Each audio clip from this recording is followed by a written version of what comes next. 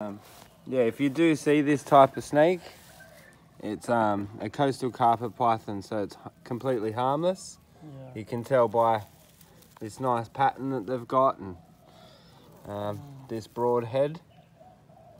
Yeah. Um, but yeah, unfortunately, it's really dead and your road's just there. So I would say that last night, unfortunately, it was crossing the road because they're pretty slow. And someone, and I don't think anyone did it on purpose. This hill's right on a crest. So I'd say they just got to the top of the hill and there was a snake there, unfortunately. There's also a snake across the road that we've been chasing. It keeps getting into their garden. So a few snakes around, but I wonder if this is even the one that they've been seeing. So that's pretty sad, but I'll get rid of him for you.